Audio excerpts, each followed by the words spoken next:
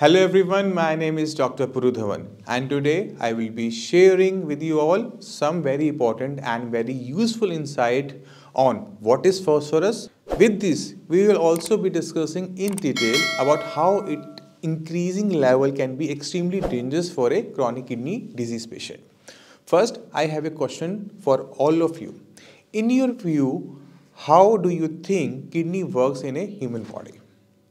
Well, in simple language, your kidney makes sure that all the unwanted waste material in your body is thrown out at a regular intervals. Now, what do you think will happen if your kidney are not throwing out this waste? In short, the level of unwanted substance will rise automatically instead of being flushed out. This may not sound very disturbing to a lot of viewers, but Thus, there is much more to it. So now another question that I want to put across, what do you think will happen if your bone breaks with the slightest of the injury? Not a very happy thought, right? Well, phosphorus is one mineral which can make your bones brittle, where a small injury can lead to fracture. Let me explain. As we all know that our bones are made up of a strong mineral known as calcium. It is this calcium which keeps our bone in a healthy functioning state with making sure that a small injury doesn't turn up into a big one. Now pay a little attention.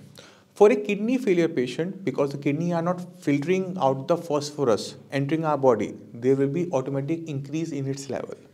This increase can be extremely worrisome as phosphorus tends to replace the calcium in our bones.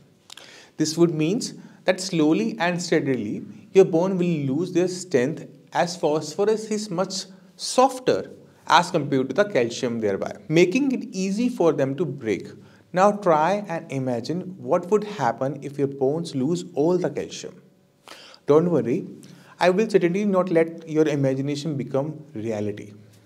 Let's move to the solution now. There are mainly two ways in which kidney patient can control the phosphorus level in the body. The easiest one is not to consume anything which has a lot of phosphorus content. Yeah, there is no rocket science behind this. Stop eating food items which are rich in phosphorus. I request all my viewers to pay attention as I have prepared an entire list of phosphorus rich food items which every kidney patient should strictly avoid. I hope you have taken a note of the list and it is my request that this should at all time be followed. One issue I see my patients usually facing is what all food items to avoid in their daily lives as the phosphorus is present in almost everything.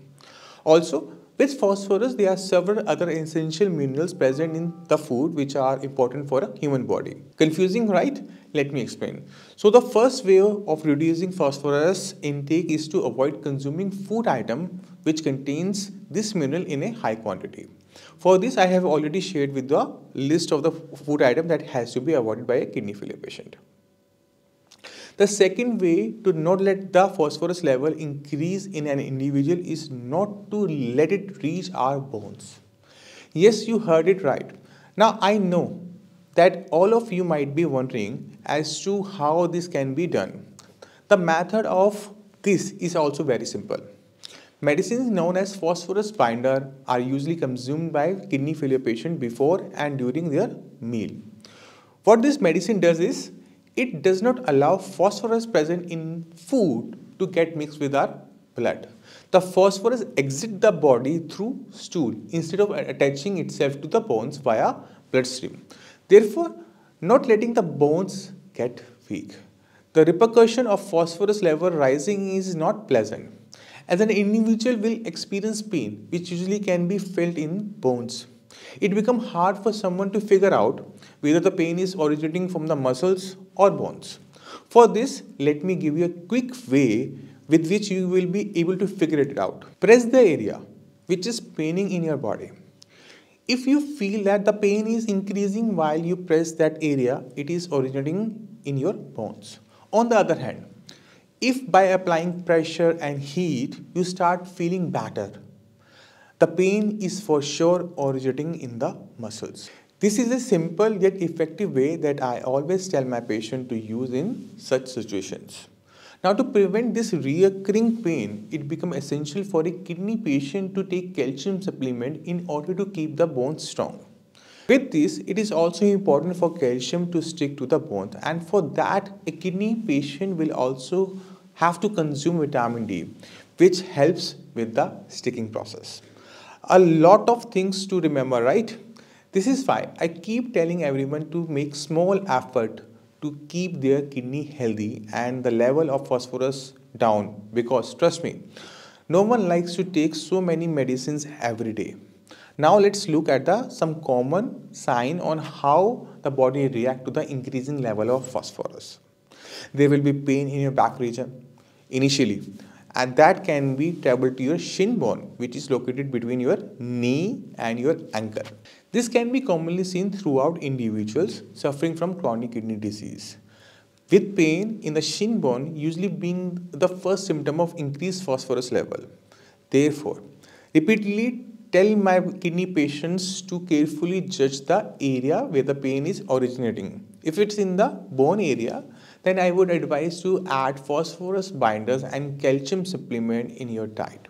But remember, in order for the calcium to work, the patient will also have to add vitamin D supplements. With this, we have finally reached the end of today's video. I hope I was able to explain all my views about why we should take care of phosphorus level in an individual's body and why it is necessary for a kidney failure patient to pay extra attention if the level are high. Even after this, if you have any more question that you would want me to answer, please free to leave your queries in the comment section so that I can respond to all of them. Thank you for your being part of this today's video and I will see you in the next time. This is Dr. Puru signing off. Take care and stay healthy.